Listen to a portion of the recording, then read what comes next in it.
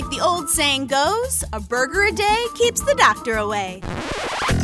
Apples? No, that doesn't sound right. It is what it is. This one's all about thick, juicy, piled high, all American burgers. I'm all about the burgers. Elliott's taken down a burger inspired by our neighbors to the north. Kind of like Chris Chelios or Denis Savard. They started their careers in Montreal, but they finished them in Chicago.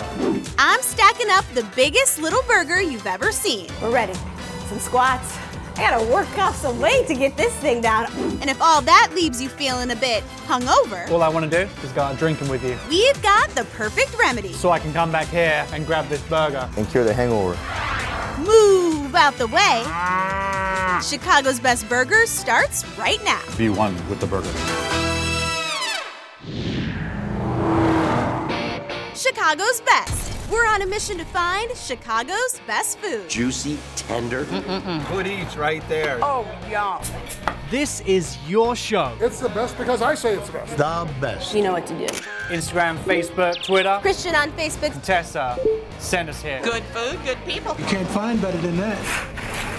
Hope you're hungry. Chicago's best, baby. The best. There's no comparison. It's Chicago's best. Starts now.